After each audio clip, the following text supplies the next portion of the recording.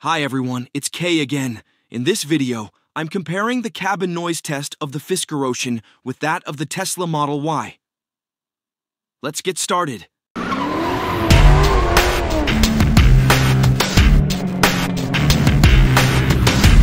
In the last video, I compared the Lexus RX with the Fisker, and some of you said that comparing the Fisker with a gas car is not right.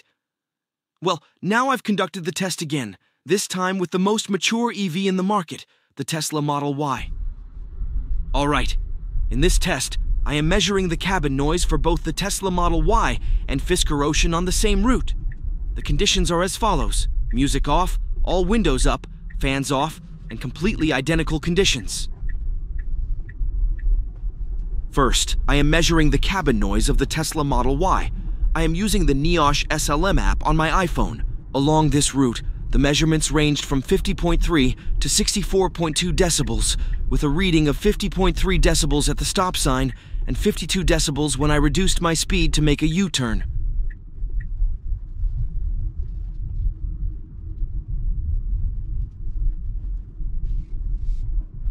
I am an ocean owner, and I conducted this test individually, so it may not be perfect, but it is within the capabilities of my current equipment. Please do not blame me for any imperfections.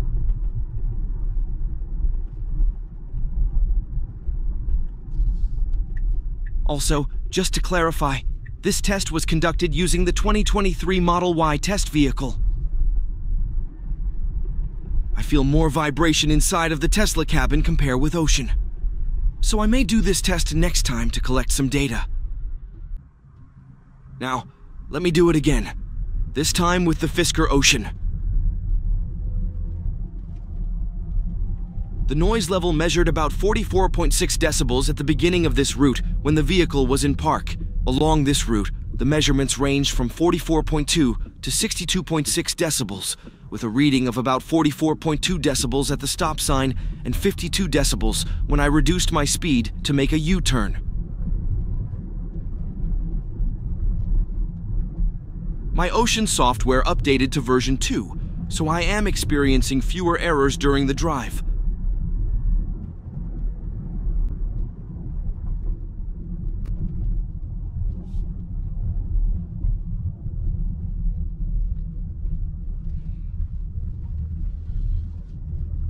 In the last video, someone criticized that the average of the minimum and maximum numbers is not working.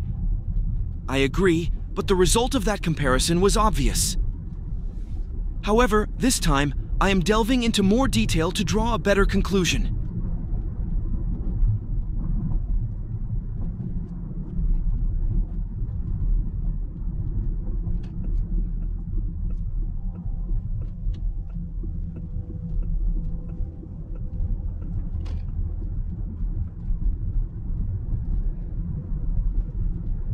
All right, this time I am collecting all the output from the app, gathering all the numbers for both vehicles, and creating some charts.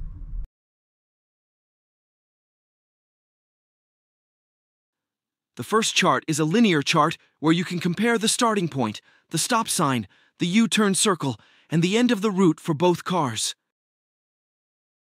The second chart is an area chart, which allows you to see the highest areas more clearly.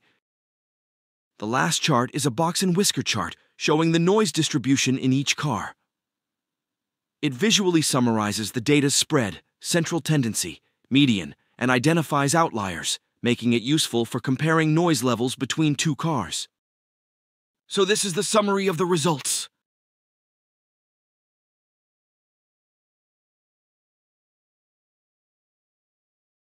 So who is the winner?